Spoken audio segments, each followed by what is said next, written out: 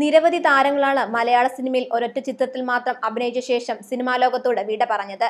അതിൽ മലയാളിക്ക് ഒരിക്കലും മറക്കാനാകാത്ത നായികമാരിലൊരാളാണ് ദീപ നായർ.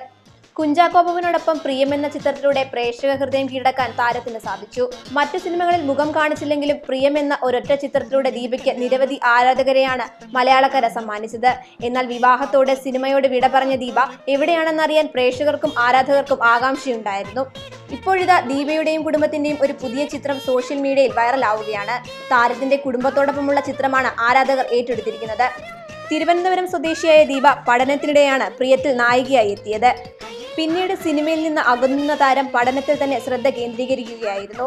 പഠനം കഴിയും മുമ്പേ ഇൻഫോസിസിൽ ജോലിയും ലഭിച്ചു. സോഫ്റ്റ്വെയർ എഞ്ചിനീയർ കൂടിയായ ദീപ ഇപ്പോൾ ഓസ്ട്രേലിയയിലെ മെൽബണിൽ കുടുംബത്തോടൊപ്പമാണ് താമസിക്കുന്നത്. Web desk Tatwamayi news.